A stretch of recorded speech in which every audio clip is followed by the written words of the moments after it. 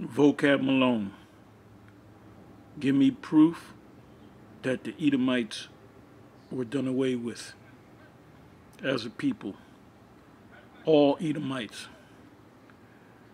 That there's not one Edomite left on the planet Earth. Give me the proof. You made that statement. You said that many times that the Edomites were done away with. I want the proof. Anyway, I'm coming back to uh, this video I put up last night. Uh, Vocab Malone says slavery is okay. Um, anyway, uh, this is at uh, 6 minute and 28 second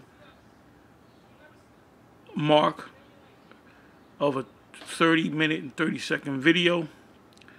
And this is what he says. I'm going to put this up raw. Let's listen and I'm going to come back and say what I got to say. Through the Spirit.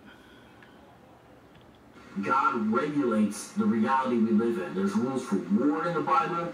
There's rules for people who die, widows. So we live in a fallen order. Slavery is part of that. So the Bible regulates it in a way that uh, is is is superior with the trajectory towards ultimately eliminating it. Not going to be eliminated. These people are going to be enslaved uh, under us forever. That's the order. Anyway, he said uh, there's rules for war in war in the Bible.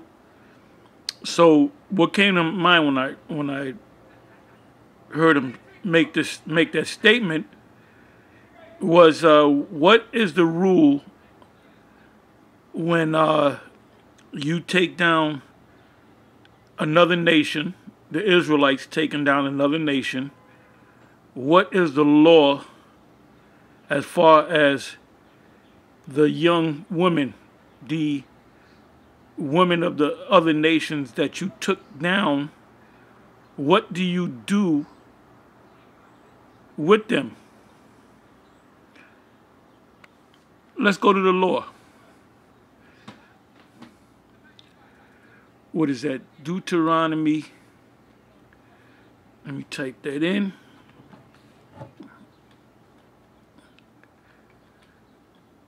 I believe that's Deuteronomy.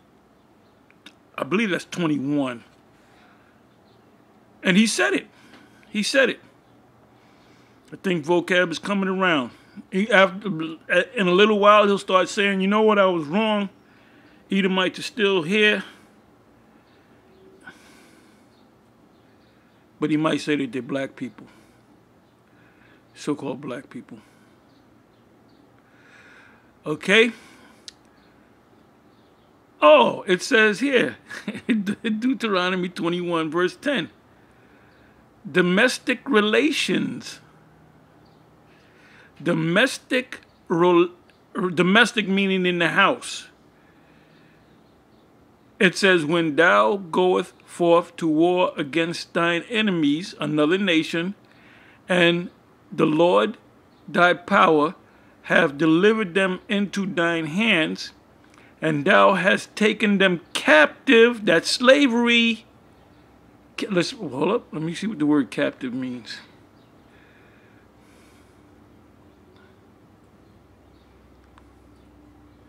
To learn a little Hebrew.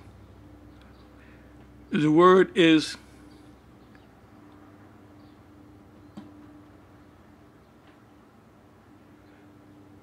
Shabaya,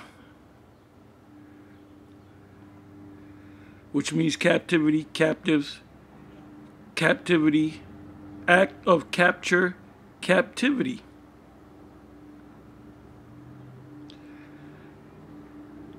Captivity, captive, prisoners, taken away, taken.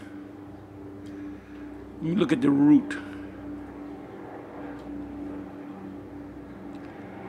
Shabawa.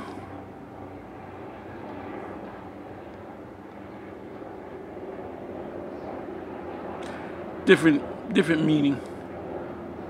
So let's come back.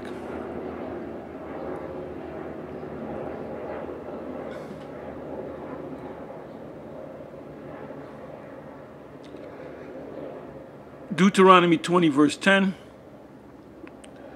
when thou goest to war against enemies, and the Lord thy power hath delivered them into thine hands, your hands, and thou hast taken them captive, and seest, 11 verse, and seest among the captives a beautiful woman, meaning a woman of the other nation. Can we deal with women of the other nation? You got goddamn right, I'm reading the law.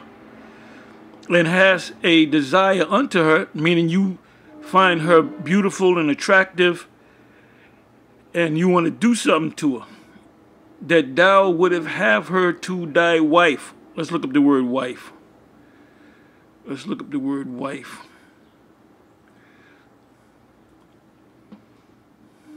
This is two lessons in one. We're learning the scriptures and we're learning the Hebrew. It said the word there is Asha. It should be it should the word there should be ayash or ayash ayasha. There should be a ya in between the ah and the shah, as you can see right here. Even in Arabic, if you ask them, how do you say man in, in, in Arabic, or in, in this case, woman, they would say Aisha, Aisha, which they're saying man in the feminine sen- sense. a man in Hebrew is ay- Ayash. A woman would be Ayasha, meaning man in the feminine sense, meaning a woman. So let's keep going down. It says, take thee to wife, right? It says woman, wife, female, woman, uh, opposite of man, a wife, woman married to a man, female of animals, each, every.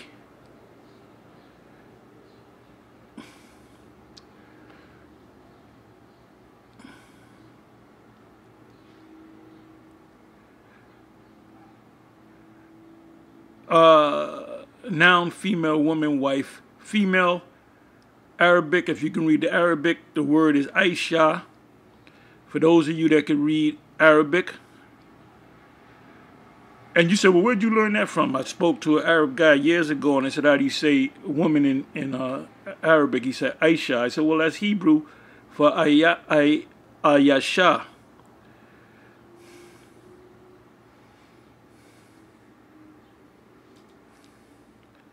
So that becomes your woman. Let's come back. Let's come back again. So now we're in the 12th verse. Deut- Deuteronomy 21, verse 12. When thou shalt bring her home to thine house, and she shall shave her head. Now you can't go into her in the case of war. You have to let her mourn for 30 days.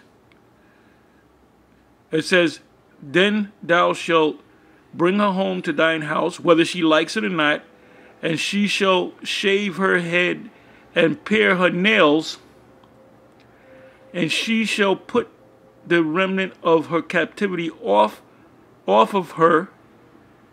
And what does that mean? Whatever heathenistic dress code they they practice, they got to put on Hebrew type garments. So now the question is, should these uh, other nations have fringes on them? In the kingdom, they're going to have fringes because they're going to have to remember to keep the laws.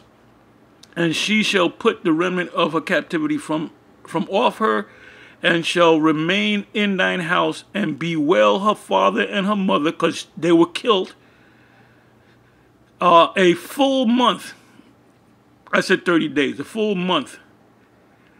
And after that, thou, you shall go in unto her. Going unto her, meaning you shall ha- have sex, whether she likes it or not. If she likes it, it's all, it's all good. If she doesn't like it, because you killed her parents, well, that's all good too. That's called that's called rape.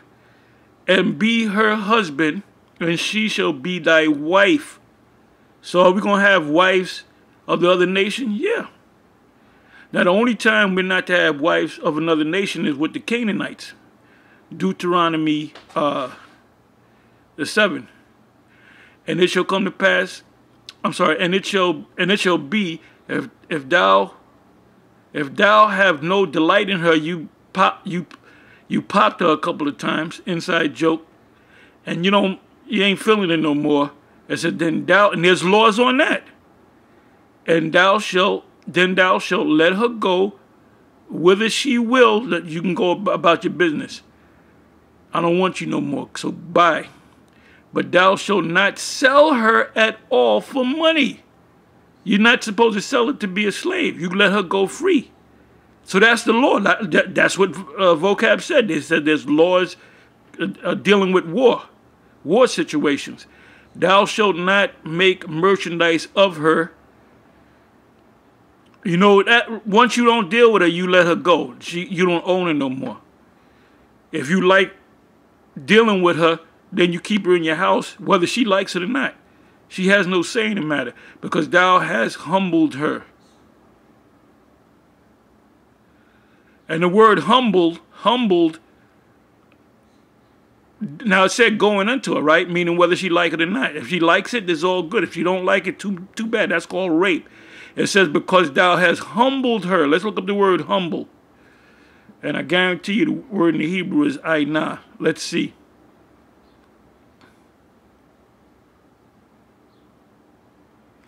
The word is I, Aina, Yatha, or Aina. Aina. A6031. It means to put down, become low, to be depressed, uh, to be cast down, uh, to to be occupied, be bruised with, to afflict, oppress, humble, be afflicted, be bowed down, to be afflicted. So take, in other words, take it by force. Uh, Genesis uh, 15, verse 13. And he said unto Abram, Know of a surety that thy seed, the Israelites, because Abraham had many seed seeds, but he, but it's talking about specifically Israel.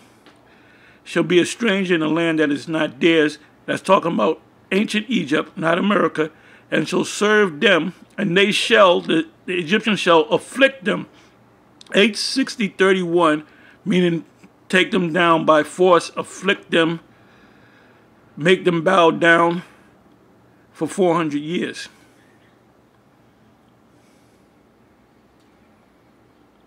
Anyway, with that, I'm going to say shalom.